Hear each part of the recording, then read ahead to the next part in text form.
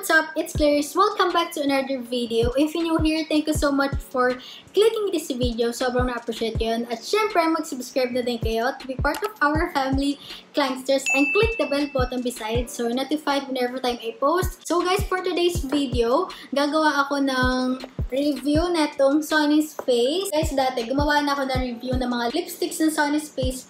Pero ngayon guys, gagawa ako ng review ng ating eyebrows So, bubuksan natin siya. And I bought this pouch, guys. So, hindi po siya kasama sa package. So, ayan. Yeah.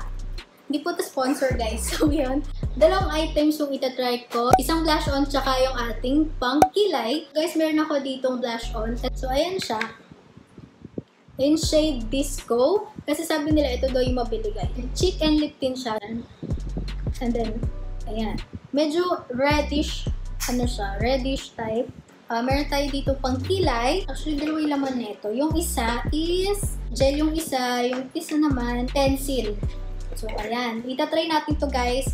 Ayan, naka-makeup na ako. Yung kilay tsaka yung blush on na lang hindi ko pa nagagawa. So, nahin natin syempre yung ating kilay. Yan, magkikilay na tayo. Girl, I have my mirror here. Ah, laki ng mirror. No? Yung munang pencil. This one warm brown yung kinuha ko, guys. Yes. Ayan. Sunny's Face. As you can see, it's Sunny's Face. Ganyan lang siya kanipis.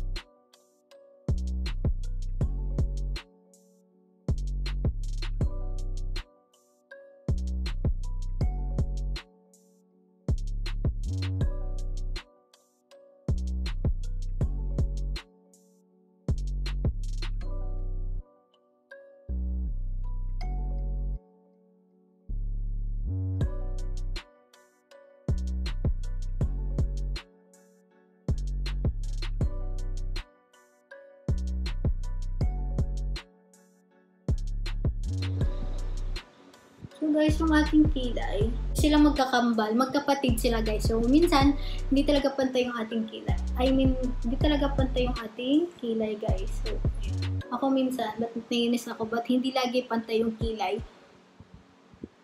And guys, na ano ko na siya, na line ko na. Cover na natin. Ang next na gagamitin natin itong gel. Wait. How? Ganito pala siya. Lit. So, akala ko itong buo. Ito lang pala. Oh my gosh. Whoop. So, lalagay na natin, guys. Ayun, cute. Ang liit lang talaga niya.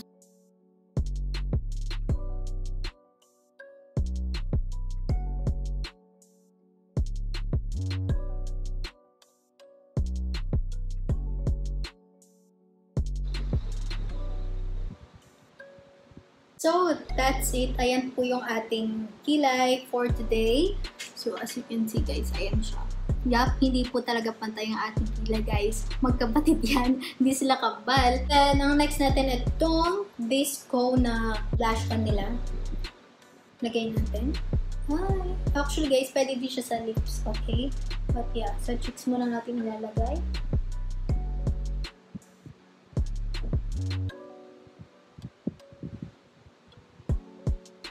Ayan. Kita nyo ba guys?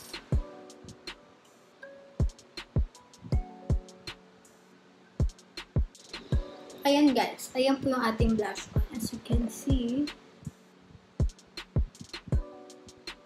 Ayan. Ayan po yung ating blush on. And actually, try din na ito. Ooh.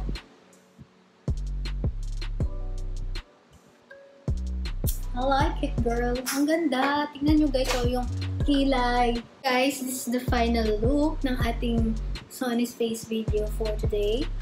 Tanggalin muna natin to. So guys, ayan po yung ating uh, eyebrows. Tapos na tayo. So, ang kinuha ko itong warm brown. Ayoko yung super brown talaga. Kasi, Naka-black hair ako, guys.